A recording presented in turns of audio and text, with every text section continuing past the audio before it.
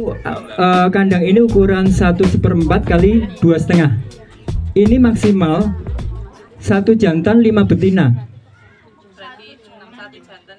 Ya, enam ekor. Uh, kasihan bu ketika nanti ditambah misalnya tujuh. Kemudian atau lagi jantannya dua, nanti tarung habis-habisan. Kita memikirkan dia supaya bahagia, tentrem termasuk uh, nek kokian betina kasihan ayam jantannya oh. Iya. Ya, jangan ditiru ini bukan poligami nggih. Satu uh, betinanya Iya, lima. Bukan. Iya. Karena saya buat contoh, Bu. Jadi rasio kita memang berapa keluarganya, berapa ayamnya. Karena keluarganya empat. Iya. Iya rata-rata per hari itu tiga butir. Satu betina mengeluarkan satu butir telur tiap hari. Itu rata-rata. Iya tiap hari. Kadang kita dua juga pernah. Jenis ayamnya elba. Elba. KUB juga bisa. Nah KUB sama elba itu kuantitasnya lebih banyak elbanya. Makanya dulu pertama kali kita pak uh, Elba, kemudian eh KUB, kemudian kita beralih ke Elba karena kuantitasnya lebih banyak. Begitu. Ada lagi? Uh, satu ayam itu porsi makannya satu on. Jadi ketika satu on itu sekali makan. Satu hari. Se apa? Satu on sekali makan. Pagi dan sore. Pagi dan sore. Jadi Ya. Terus naruhnya itu Berarti nggak ngemil. Maggot itu sukanya ndresep-ndresep. Disebar kayak gini biar ayamnya juga bahagia. Nalurinya kepengen berpetualang mencari makan cakir-cakir. Nanti dapat yang permukaannya ya ndresep-ndresep. Kemudian yang ndresep itu sebagai alat uh, tempat untuk berpetualang. Dia senang, wah di sini dapat cakir lagi, dapat lagi.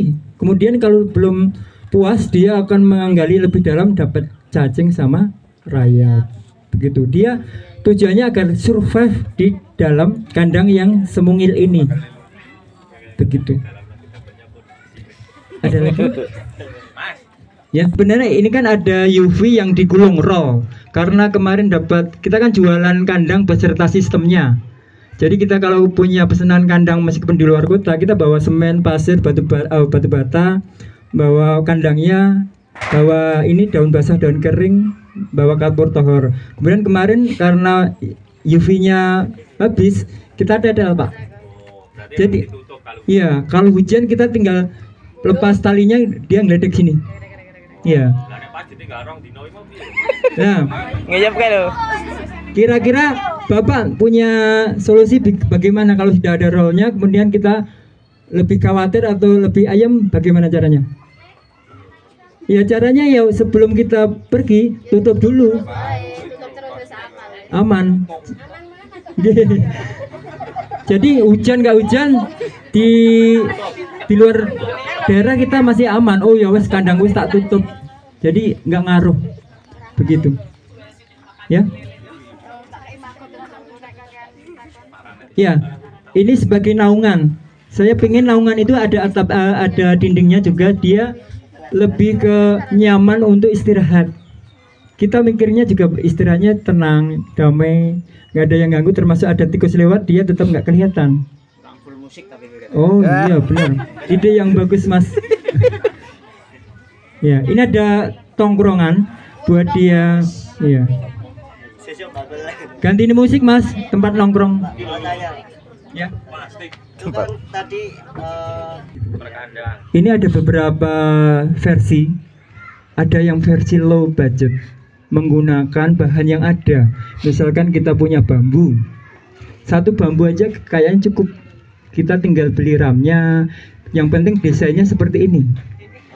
Karena desain ini uh, aspeknya banyak termasuk uh, apa mengutamakan space ruang uh, ngirit bahan ngirit tempat tapi hasilnya melimpah tiap hari kita panen telur telurnya juga telur sehat jadi kita sengaja uh, tidak uh, apa uh, secara tidak sengaja membantu program pemerintah untuk mencegah yang namanya stunting. Ya kan? Kalau kita swasembada protein tiap hari kan otomatis tercukupi nggih protein untuk anak-anak kita. Iya, bahkan kita kalau uh, lebih kita masak tiap hari makan telur, kita taruh di kulkas kadang kita sudah beberapa telur yang ada di sana. Begitu. Ada yang ditanyakan lagi? Karena jantan jantannya ada. Iya, ada cowoknya, Mas. Ora lho Mas, iki ditakokke iki anggarane piro lho? Sang di luar. Nah. Takon gotong royong apa nyambut gawe? Oh? Oh, nek sambatan kan luwih ngirit. Jadi itu saya kasih versi yang low budget nggih. Nggih. Kalau versi kayu saya jual kandang ini per unitnya 2.600. Oh, garasi satu minggu, satu bulan. Itu ya, belum ada ayam. Semua sudah termasuk pondasi, termasuk UV, kandang komplit, ayam-ayamnya semuanya kita pasang. Ayamnya satu jantan tiga betina. 600 itu pakai kayu-kayu Kalimantan. Biar dia lebih awet. Ya ada yang juga versi hobi. Kemarin ada youtuber otomotif Mas Ridwan Hanif mau dibikinin yang dari besi hulu. Nanti dicat yang warna-warni yang lebih menarik gitu. Dia kemarin sekitar tiga setengahan sekitar tiga sampai tiga setengah juta. Itu kandang ayam versi hobi. Iya. Jadi kalau low budget pakai bambu itu lebih ngirit. Apa yang kita punya kita terapkan. Kur jaluk. nah menjaluk Ring lebih murah lagi. Bambu ada resikonya kenapa Kalau pakai bambu ada resiko ke depannya. Iya tinggal apa eh, jangka panjangnya itu lebih awet yang ya kayu ya begitu. Ya kemudian sisa eh, untuk vitamin kita ketika merawat tanaman kan itu suket dapat rumput dapat daun-daun yang seperti ini. Sudah tua atau rumput kita kasihkan ke sini. Ini sebagai vitaminnya. Jadi dia sudah terpenuhi tentang eh, Kayak doyan. dia minumannya tetap biasa pakai ini air biasa Es air teh biasa. jumbo. Bukan es teh jumbo ya? Nah, es teh jumbo juga nggak apa-apa bu. Kita tinggal kita kan orientasinya biar year budget nggak ngeluarkan uang jadi nggak usah beli es jumbo. Oh iya, Eh, kalau sudah lama ini ada yang sudah berondol bu. Ini ayam ini sudah satu tahun, eh hampir dua tahun, tapi masa produktifnya sudah satu tahun dua bulan sudah tiap hari bertelur. Jadi resikonya seperti ini. Kalau eh, ada yang ngalah atau ya, kalau akhirnya kurang lebih dua tahun. Ya, ya ini regenerasinya di situ bu. Iya, Ini generasi bukan mas, anu ya regenerasinya ada.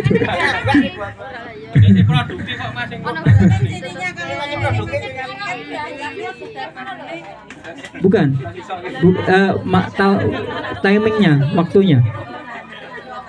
Iya. Sehat selama dua tahun ini sehat karena kita desain eh, termasuk ramuan kapur tohor itu supaya umbarannya sehat, bakterinya bisa dimatiin sama kapur itu sehingga ayamnya juga ikut sehat. Setelah kita berikan eh, unsur green brown eh, daun yang dicacah itu, kemudian kita taburi sekitar setengah kilo saja. Kemudian kita mix, kita campurkan, kemudian baru ayamnya kita masukkan. Iya. Enggak, itu kan kapur juga unsur organik juga, Bu. Jadi enggak anu. Dia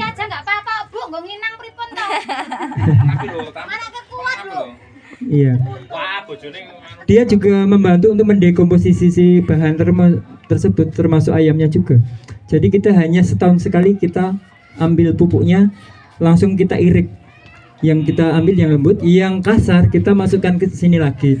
tujuannya apa agar media ini poros gampang diceker-ceker nggak padat kalau tanah kan padat kalau yang kita eh, pengenkan itu adalah media yang poros sehingga dia eh, nalurinya lebih happy untuk menceker-ceker.